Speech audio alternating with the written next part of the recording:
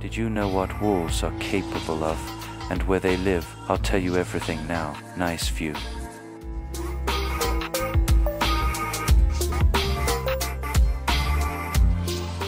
A wolf is a predatory animal from the class of mammals.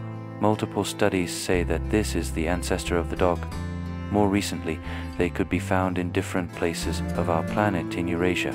America, the height of this predator can range from 65 to 85 centimeters, and the body length reaches a value of 101, 155 centimeters with a weight of 30 to 60 kilograms and maybe more. After three years of life, having gained almost 55 kilograms, the wolf is considered mature. Wolves don't howl at the moon. This method of vocalization is a way of communicating between members of a group over long distances, for example, to gather before hunting. With a long, drawn howl, they transmit messages to their relatives, and wolves are able to hear and understand the meaning of the signal, even from 15 kilometers away from its source. Wolves also howl to inform potential rivals from neighboring packs of their presence or to attract a partner. As a rule, if one wolf starts howling, then his relatives immediately join him as a rule, wolves show their activity at night, accompanying their hunting with a long, drawn howl as a means of communication between their own kind. When a pack hunts or pursues prey, it tries not to make unnecessary, much less loud noises. In the daytime, like most predators, wolves are in their hiding places. These predators have rather delicate hearing, but their eyesight and sense of smell are a little worse developed.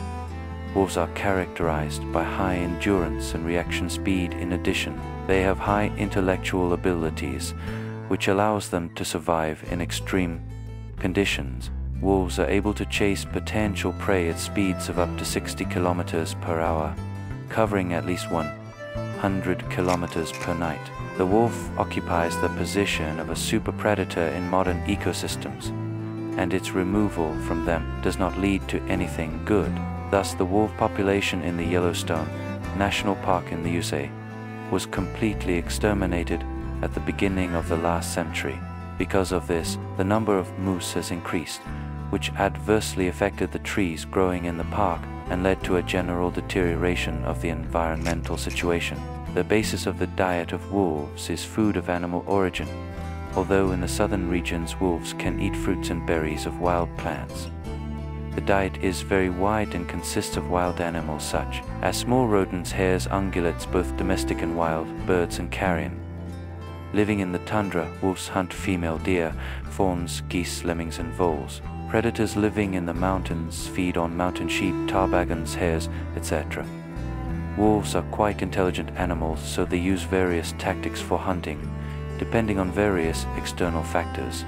As a rule, Wolves hunt in small packs while each animal knows its responsibilities. Adults eat about 5 kg of meat per day, while the minimum diet consists of at least 1.5 kg. If you can't eat all the food, the wolves hide it securely. Wolves usually live in packs of 6 to 10 individuals, led by dominant heterosexual couples. The leaders of the pack are commonly called alpha wolves and, according to many, they gain dominance by brute force, crushing the rest under themselves in bloody battles in order to literally climb up the hierarchical ladder through their bones. This point of view is widespread and fundamentally wrong. During the mating period, the behavior of both females and males changes towards aggressiveness, but after the end of this period, the behavior of the pack becomes favorable for the growth and development of future offspring. The female and male arrange their lair in safe shelters. Wolves often adapt abandoned burrows of other large animals for this purpose. The location of the lair is such that the female and male feel the danger in advance. Wolves have practically no natural enemies, with the exception of humans who thoughtlessly destroy many animals including wolves. Therefore, we can safely say that only humans are able to influence the number of these animals, which are also called forest orderlies. The insufficient number of these forest attendants often leads to outbreaks of various diseases among animals. In winter, grey wolves have very dense and fluffy fur with a short undercoat and long protective hairs. Most of the undercoat falls out in spring and grows back in autumn. Winter wool is very resistant to cold. Wolves in northern countries can safely stay in the open at minus 40 degrees Celsius, placing their muzzle between their hind legs and covering it with their tail.